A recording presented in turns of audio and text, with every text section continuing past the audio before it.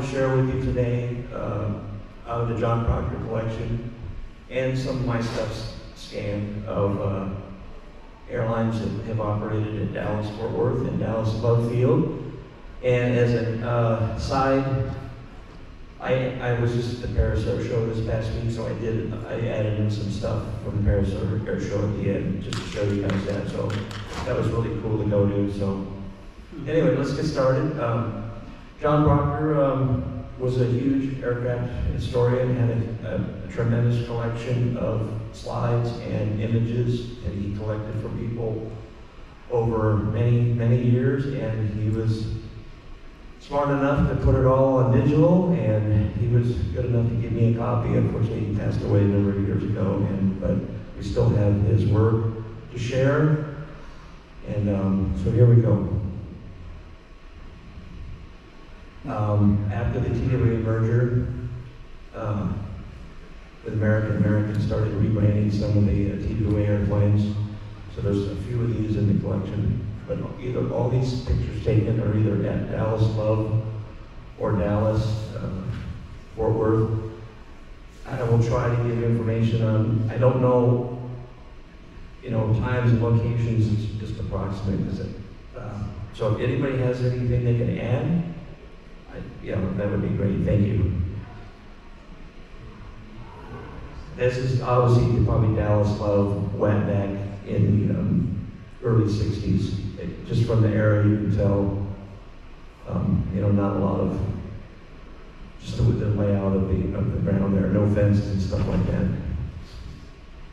Uh, another one at Love Field. Now, Braniff is a huge operator here at Love Field, and uh, before they moved to DFW, so they have a huge presence here at Dallas Love. Is uh, that a, Sir? that a one thirty-eight? That's a 138B, yes. That is the, the Qantas uh, airplane that, or Qantas had Boeing build the 138B because they needed that extra stage length between Honolulu and Sydney, or maybe they stopped in Fiji, I don't recall.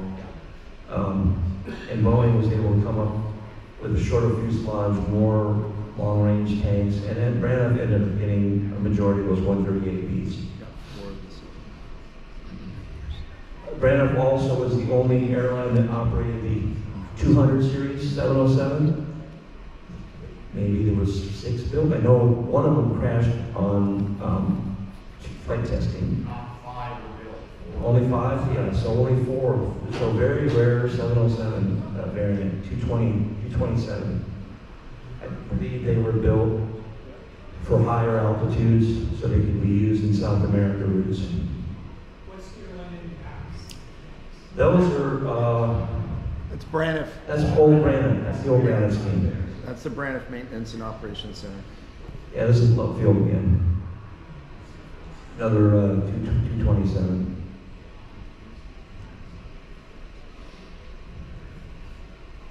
These are obviously in Love Field. Sorry if I have more in here than, more than one, but there's some pretty good shots here, so.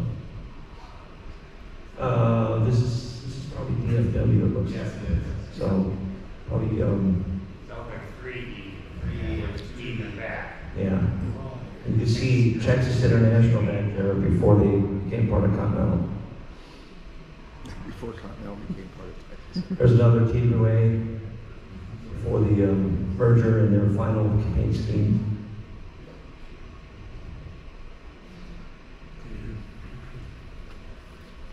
There's one rebranded where they just, um, I guess, I think TWA operated it as a subsidiary for a short period, short period of time before they could get everything um, merged together, you know, pilot and groups and all that. Well, they weren't very, TWA pilots weren't very happy. Uh, that's another story, unfortunately. I think, well, as I recall, Americans' philosophy is, well, you were at a carrier that was bankrupt and we bought you, so, you know, you're lucky you have a job. I know there's a lot of animosity with that. Uh, Eastern here with the Boeing 720 at Love Field. And this, this might be, that's a 720, 720. Yeah. Or, yeah, it's a 720. But they say it could be a two twenty-seven, but I don't think it is. It's only one emergency exit. only. Yeah, seven twenty, straight pipe. so, yeah. That's at Love Field as well. Another seven twenty, yes, I believe so, yeah. Yeah, uh, you know, if you know anything about Braniff, Braniff had a huge, um, they just, it just loved it, came their airplanes in all different kind of colors, so it was very colorful. This was the pastel scheme, they had a purple, a green, an orange, and yellow, yeah, they had all kinds of stuff.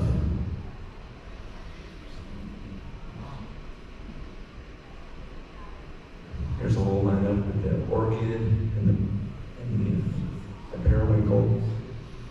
There's a central Convair there in the foreground. Uh, Mexicana at DFW. Seven twenty-seven Eastern at Braniff, and that's at, at Love Field, there's the Braniff headquarters and maintenance headquarters at the back. That was the uh, final scheme of Braniff before they, uh, declared bankruptcy. They had a dark green, uh, there was a terracotta, there was a blue, it was like four or five. It was a pretty, pretty cool scheme. It's like half. Chocolate. Yes, there was a chocolate. I can't remember all the colors. I think it Uh, Southwest at Love Field, they, um, had seven twenty-sevens at one point. There was a, if I recall, there was some sort of dispute between American or and Braniff for Braniff, and they won out, and they got the rights to fly certain routes, and they had to get seven twenty-sevens. So it was, uh, this is early Southwest, in the early seventies, I think. Yes, I do see, I noticed, I've already noticed just from looking at the uh, tail number that uh, this is X Braniff, I think it's the problem with Rambo, but, uh, I, I believe we have like about uh, ten X Braniff as well. who did? Yes, because I think I remember it. I- I think they had- that uh, They had, they had four, five or six seven Yeah, twenty-sevens. yeah, I remember what, what I had when I was a kid, they had like all the lists of the tail numbers, it was ABC American Airlines, just looking when I was a kid, and I, and, you know, you can tell because of the two two seven, twenty-seven was Braniff, it's the, Right. it's from American. Yeah. Right. It's American, so. This is the Brown Port settlement claim that uh, Southwest leased, I think, a year and a half, nineteen seventy-nine, eighty, or eighty, eighty-one. Okay. The, the other five were later leases from Don't People Express in the mid-eighties. Yeah, and, and question, you know anything, maybe a little bit too soon, but, uh, you know, besides, uh, the Southwest example and then, uh, the ten or so that American had, you know, who else had that, some of the brands, more seven points? Oh, a lot of, well, a lot of people have a lot of the Rams. I know UPS had a bunch of the freighter, or they converted the freighters, they had a lot of X Braniff and seven twenty-sevens. And you're right, talking about the Boeing customer codes, every airline was, was given a customer code, twenty-one was Pan Am, thirty-one was But that ended with the Dreamliner, so I And know for sure that the, uh, in the seven forty-seven dash eight, so they didn't have customer code, but it was the triple seven three hundred ER, that was the last time the customer code, so you know, I my recollect, recollection is correct. Uh, yeah, well, I can, I can tell you from, um, because I work at UPS, that we have three four A is our code, and now the certificate says dash three hundred. It doesn't say the three four A anymore. So they got away with that with all their deliveries. Uh, this is the, um, after the shutdown, all the airplanes on the ramp at DFW, you can see all the different color schemes. Not everything made it to the older scheme before the, before, before the shutdown.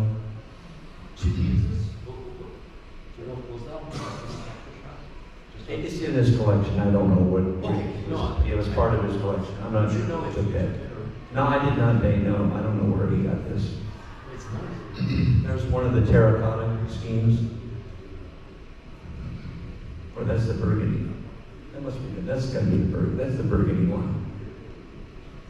Uh, Southwest, the, um, the Max at uh, Love Field. They finally, um, got rights to fly more places because the Wright Amendment has, has expired, but there's still restrictions. If I remember correctly, that tail number is the one that's now a little one. Oh, okay. Thank you. Um, retro uh, scheme American. They have quite a fleet of their predecessors, and they repainted their fleet. So that's, there's an AirCal PSA, there's a TWA Piedmont, US Air, there's Reno Air that I'm, that I'm aware of. I know there's some more. Yeah, I know some of the, uh, I think some of the, uh, uh, uh, US lineage, uh, uh, King jobs are being, supposed to be moved to the three twenty-ones, if I recall correctly. I know there's like a one, three nineteen still in America West, you know, so I think I I saw. think there is America West, Yeah, yeah. yeah, I think that has yet to be moved over to the three twenty-ones.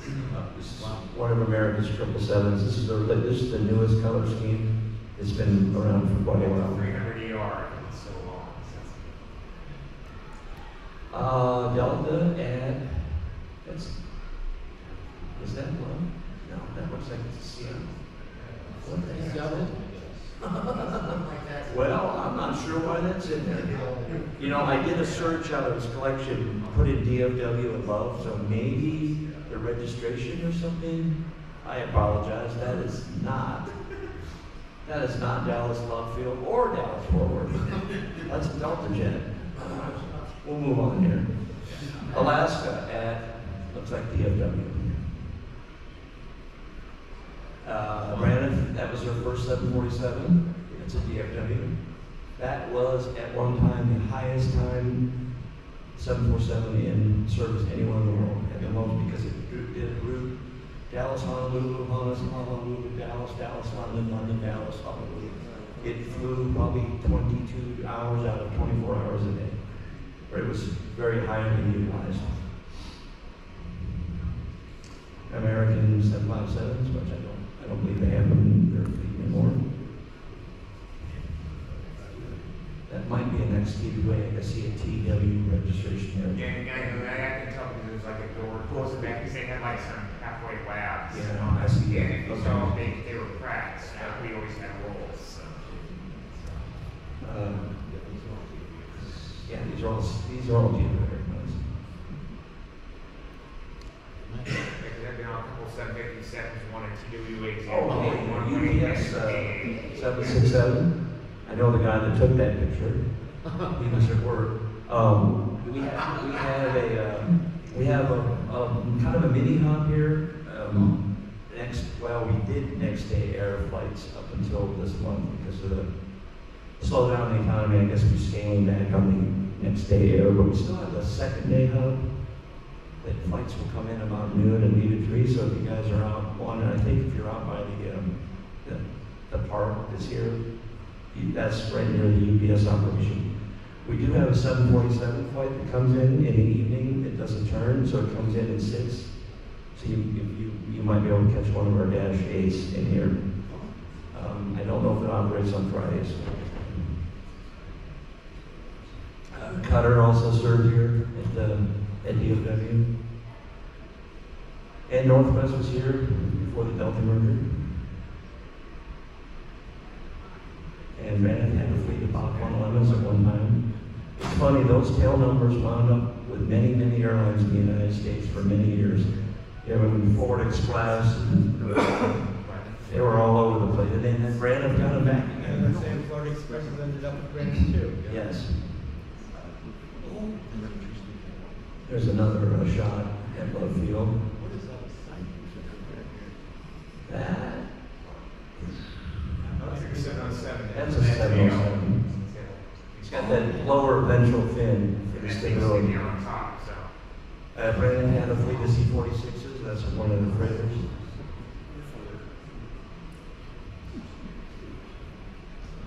Mexicana was here. When they had the, you know, that's a common, common. Is that? They have one common. Right, common. We got Regional Service, American Eagle. Uh, Trans Texas Airways, which is before Trans, Trans Texas International.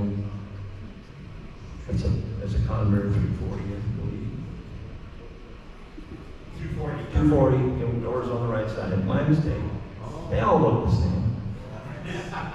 Now, this is the Convair, that's a two forty as well, it's a good way in one with the dart engines, maybe one of the, one of those coming up.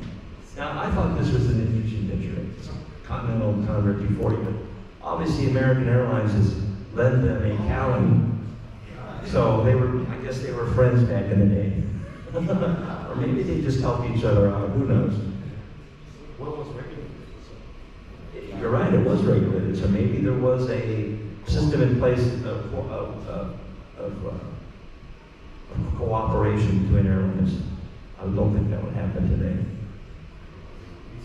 Another con- Convair. Yeah, yeah, the- he, had some, he's got some great stuff in his collection. Uh, Central Airlines, that is a Convair 600, which was the powered Dart, Rolls Royce Dart engine, very loud airplane, very loud. And what Central became part of Frontier? Yes, Yes. Okay, so that was before, um, I believe Lamar Muse was the CEO of Central. I think he did come. And, yeah, in later life, he, uh, he was the CEO of Universal Airlines in Detroit. They had a freighter company, and they had ordered two 747s, and the board threw them out because they didn't want him to get the 747s. So I think then he went on to uh, Muse Air and some other things. But he had a long legacy as a, as a career as a, as a CEO of airlines. Uh, Frontier,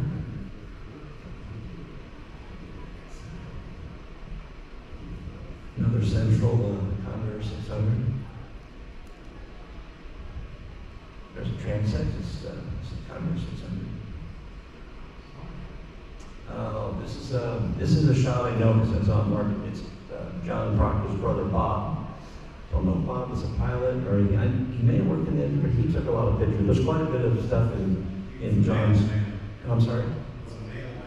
He was a mailman, yes. So he took a lot of pictures, so there's a lot of Bob Proctor stuff in this collection. This is a way early picture of Van Effen. Probably back in the thirties, I would imagine, early forties. There's another shot of our field of Central and some Granite airplanes. Continental, and I think, now, I'm trying to think, this hangar was probably built in the late sixties, right? No. No? Early sixties. So what is this, 1965 maybe? Uh, a little bit earlier, by sixty-five, Continentals were only. Okay. in Denver Okay. Because I'm thinking, wow, here it is, the mid 60s, and they still have DC-3s in their fleet.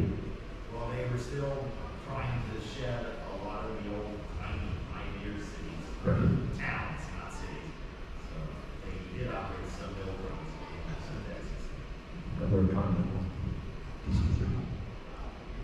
There's a great, I think this is a really good shot too of um, Love Field, Plot Central, Convair, and DC-3. It's like a Milwaukee or like down there at the end. That's a good one too, Trans Texas Airways.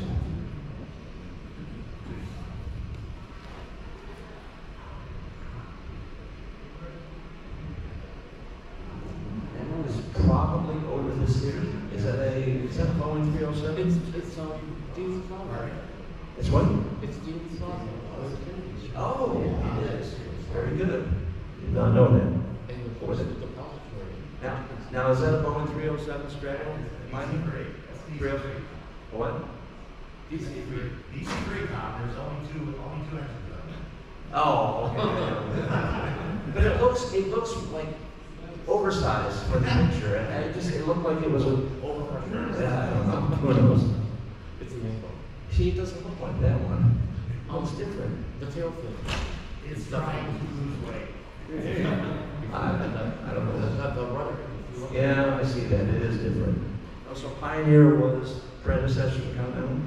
Merged into Continental nineteen fifty-five. Okay. Another Central.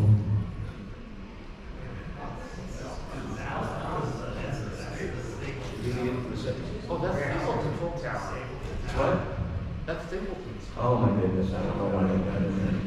I'm sorry, like I said, I did a search and it looked like it was Denver, or I mean uh, Dallas, so my apologies, I'm not sure why that got stuck in there. He might have labeled it um, Dallas by mistake, that's why it showed up.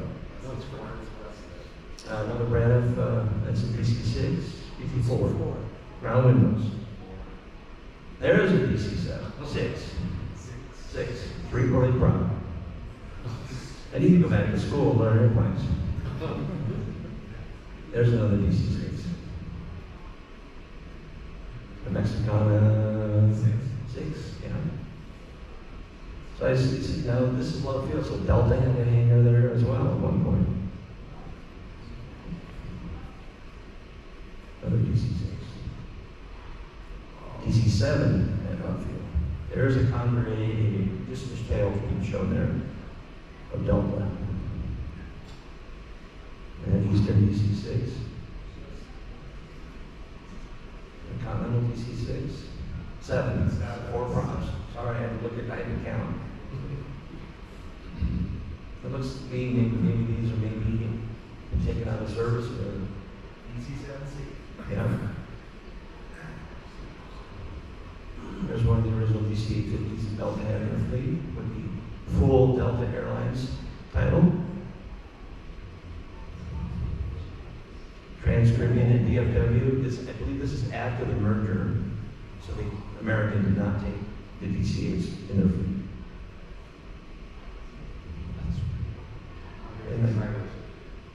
I'm sorry? Like, there it is, it's a sideways. Yes, uh, I believe this is the demonstrator was at Love Field for, uh, trying to sell it to certain airlines. But, um, I don't think that happened. They probably were there to see if Randolph was interested. Trans-Texas DC nine, yeah, it was QC, yeah. Another, uh, TWA, um, MD ninety-five, I call them, before they went to seven one two.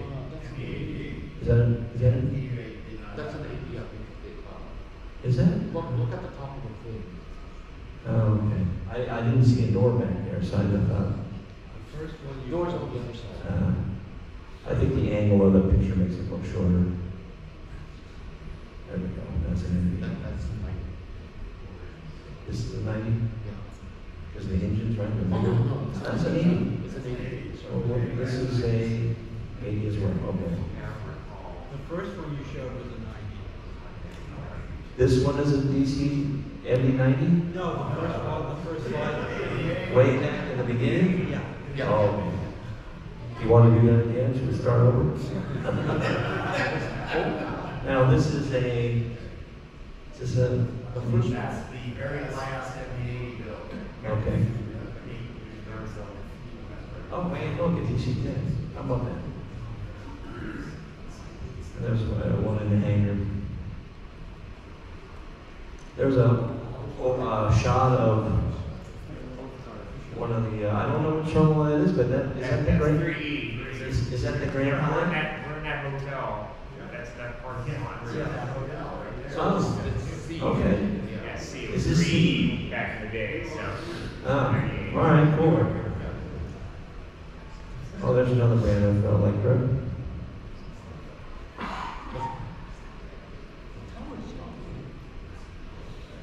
Yeah, let's go back.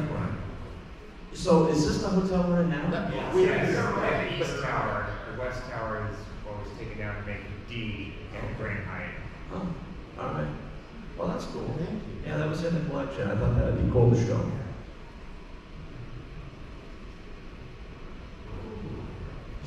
There's me on one of the, uh, blue, blue scheme. And look, uh, Frontier seven two, Yes, very rare. it's like a seven two two. No, it's got a door in the middle. It's a one Another Braniff of Electra. One more. Convair 990. Fastest subsonic jet ever built. Mach 8 or Mach 92 or something like that. They called it the 990 because it was 990 feet per second in cruise. little bit behind it, but yeah, quite an airplane. Another Electra. Yeah, another Electra, American. Carolina Love Field, 720s. Is that Ozark back? No, that's from Texas. That's Texas. Uh, Continental White White House.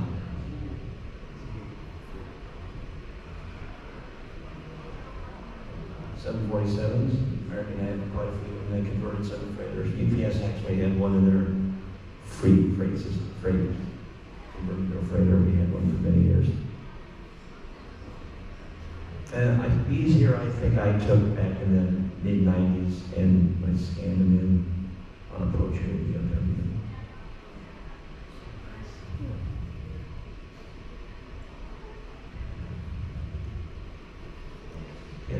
Name their airplanes luxury liners, so seven by seven luxury four seven, they don't do that anymore. I'm sure there's still luxury liners. Hey, while you're, uh, we'll move on real quick, I was at the Paris Air Show this week, and I thought, oh, I should add this in, just to, just to show you some of the stuff that I saw.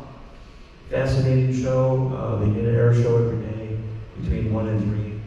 Airbus flew their Neo, uh, Boeing flew the seven thirty-seven MAX ten and the triple seven nine hundred. Then there was, uh, Embraer flew one day. There was some military stuff, but I got quite a bit of static stuff to show. I don't have anything in flight because my film's not developed yet. But here we go. Uh, that's kind of walking you go into the, uh, the start of the uh, pavilions. I thought that was kind of cool, Boeing, but there's a Qatar A350 on the screen.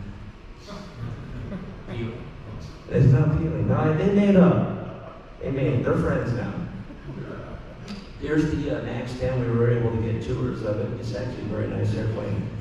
I was amazed to find out they were saying in coach configuration, this airplane will hold 230 people. And I'm like, that's a 757 motor. Yes. That's that's crazy. I, I, yeah, I just, I don't. In this case, the uh, Max ten would be replacing the nine hundred ER. Sure sounds like I. I don't know what they're doing, yeah. But that, it was, on- it's still under development, experimental, it's not ready for delivery. And was that static one? No, they flew it, they they flew in the afternoon. Yeah, I got to see it fly. That's the cockpit of the uh, MAX 10. And they had it set up with all the uh, stations to do all the testing. There was a whole bunch of computers and stations for people to sit at and do analyzation. And being a pilot, I thought, wow, they really do a lot. They do spend many, and many hours of testing before that airplane ever one passenger. So I, I, you know, I give my hats off to the manufacturers for their, their due diligence to try to make all this stuff work. Um, Riyadh Air is a new airline, and they're the 797. I'm sorry, 787-9 or dash 9 customers. So they had one on display, they haven't started service. That dash 9, right? 787, 9. Beautiful color scheme. But there's they've ordered like 80 of them, and they're going to start service from Riyadh all over the world. That's their plan by 2030. A little close up of the front of the airplane. That's one of the engines. Uh, the seven, triple seven nine hundred was there. And uh, we got to tour that airplane as well. That's a triple seven X, right? Yeah, triple seven X. you can see the folding uh, wingtips you can fit the gates. Correct, yeah. Um, actually, that, I did not know this till this past weekend, show, that wing is designed by a company called Liebherr. They build cranes, construction equipment, and they do a bunch of aviation stuff. So that's their design that they did for Boeing. Uh, the airplane I saw it fly, is very quiet. Um, my only comment that I was kind of unhappy was there was no U.S. carriers that were buying that airplane. It was all foreign carriers. So who knows? Maybe maybe some big airline or U.S. airlines will buy it. But I think um, Singapore, Emirates. I can't see all the logos. There was about I think Lufthansa. There's about ten airlines that are going to buy this So in this case, the triple seven X could, for some airlines, would be like their A three eighty replacement perhaps? That's the plan, yeah, because it's going to hold about 400. No US carriers that would, no, uh, you know, carriers in America that would box uh, an A three so. Well, they had, you know, seven forty-sevens at one time, so who knows? Anyway, there's a better, better shot of the wing. It folds down, and they don't fold it down until, until, um, they're ready for takeoff. Like, just as they pull under the runway, they put it down. I, I thought they would do it when they taxi out, but they wait. The other thing is they have a, this is during for testing. This is an add-on for a tail skid in case of, um, airspeed, rotate, early rotation tests. Obviously, they don't want to damage the airplane, but I'd never seen one attached to an airplane like that. I thought that was pretty interesting.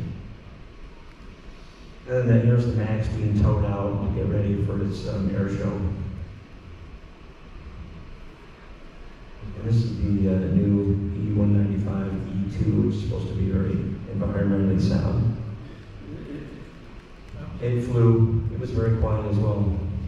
I guess has a really good um, emissions.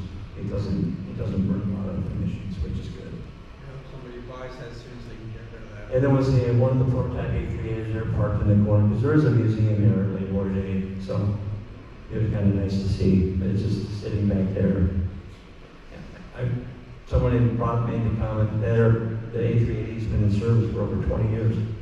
It's like, wow, I just, time is just on. Oh, yours truly in front of the triple seven. Uh, it was about 85 degrees every day and humidity of about 80%. It was, I was worn out after three days. But I had a great time. Good, some, some good pictures. Um, the new ATR 600, Nikon's Rule is the large customer. Again, they were pushing the big carbon footprint that they're efficient and quiet, and I guess it would, this would be good for small regional routes. So, keep looking at airplane. Airframes or Airbus A220-300, I think that must be a stretch version of the current A220. I don't know if it's in service yet. Uh, Charles Lindbergh landed it, and I found, I found a plaque via Phil Brooks, thank you, Phil.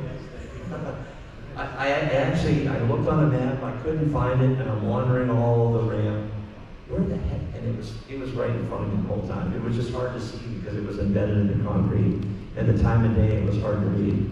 So I got a better picture the next day. Air JetBlue was there with Airbus. It's one of their new ones. There's another shot of the uh, MAX 10. So Boeing things were on that side, Airbus stuff is on this side, on the ramp.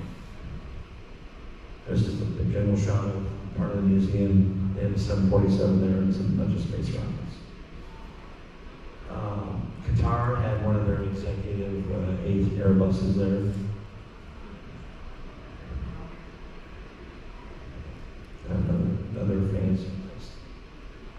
Probably got two in there the same, sorry about that. Also the A330 tanker. Oh, there's my camera. Got for uh, people when I was at the brand taking You're still shooting film? Yes, sir. Wow. And um, look at the size of that lens there. That's a 600 millimeter lens that the guy's got there. So, and it'll be again in 2025, so two more years. And I'm sorry, I had, thought I had a, uh, the Qatar uh, Airbus A350 in there. I must have got deleted by mistake. It, it was there on show as well. But uh, thank you for uh, coming out to watch the uh, picture show. And uh, if you have any questions, feel free to ask. I know want to, um, if you, Jon Proctor's, we still have his website up, and if you're looking, he has a whole list of airplanes, different airports, a lot of pictures. So if you go to that website, um, you can see a lot of his work online. Thank you.